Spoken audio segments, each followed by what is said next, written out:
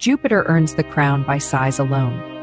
It's the largest planet, about 318 times Earth's mass, made mostly of hydrogen and helium, spinning so fast a day lasts around 10 hours. With that mass comes power.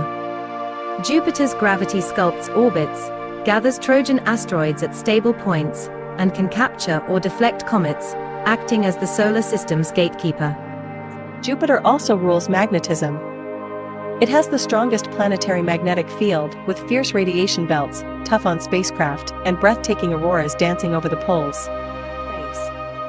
Even the moons fit the title. Io's volcanoes, Europa's hidden ocean, giant Ganymede with its own magnetic field, and ancient Callisto, Jupiter's royal court of worlds. Jupiter even wears faint rings.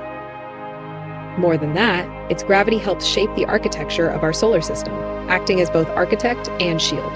That's a cosmic king.